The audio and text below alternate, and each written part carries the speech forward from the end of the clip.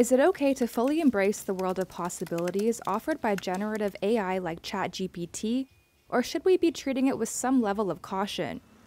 Here is everything you should know about this new technology.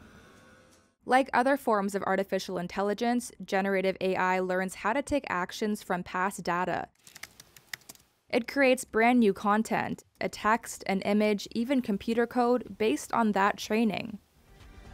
ChatGPT was released by Microsoft backed OpenAI late last year and was quickly put to use by millions of people.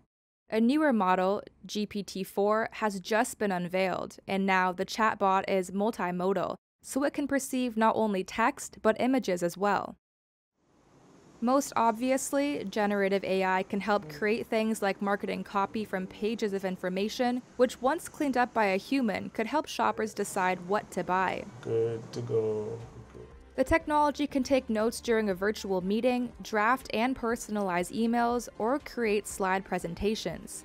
Microsoft and Google both demonstrated these features in new product announcements.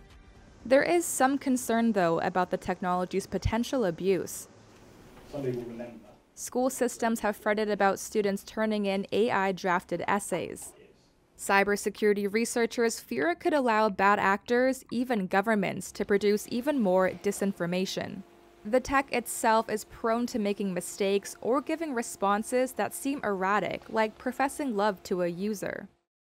Microsoft and Google have made the biggest splash so far, but they're not alone. Large companies like Salesforce, as well as smaller ones like Adept AI Labs, are getting in on the act. Elon Musk was one of the co founders of OpenAI, but he left in 2018 to focus on Tesla and its own AI. He's expressed concerns about the future of AI, calling it quite a dangerous technology. And he's also batted for a regulatory authority to ensure development of the technology serves the public interest.